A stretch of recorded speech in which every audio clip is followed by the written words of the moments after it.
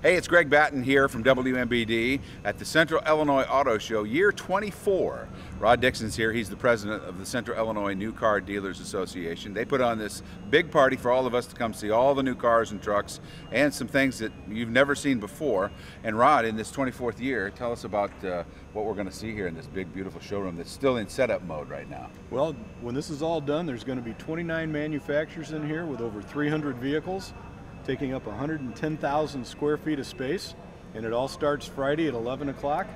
And open all weekend long. Mm -hmm. Starts Friday 11 till what? 11 until 8 o'clock on Friday, and that's hours. senior day. All right. Uh, hours on Saturday? Uh, Saturday is going to be from noon until 8. Okay. And Sunday? And Sunday is going to be from 11 until 5. All right. The seniors are good on Friday. Is there a kids' rate or a kids' day or a family day? Yeah. Anybody who's under 16 uh, gets in for uh, free. Uh, 16 and above is $5. Family Day is on Sunday, where two adults and the kids can get in if they're under 16 for a total of eight bucks. It really is a, a great bargain, folks. It's a great day to, way to spend the day looking at all the new cars and trucks. Bring your 16-year-old. They'll come drool at all the new cars and see what what's out there. Uh, anything that's really caught your fancy this year that might be different uh, concepts or, or booths of products that are new?